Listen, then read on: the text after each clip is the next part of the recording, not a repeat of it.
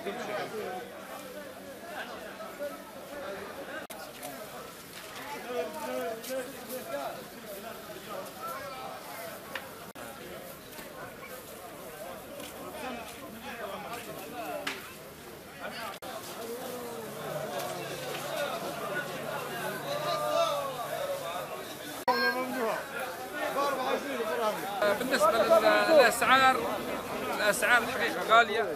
سواء المواد الغذائية سواء الخضروات السوق مرتفع فيها الأسعار هلبة والحاجات بالذات الحاجات الأساسية بغض النظر على الفواكه.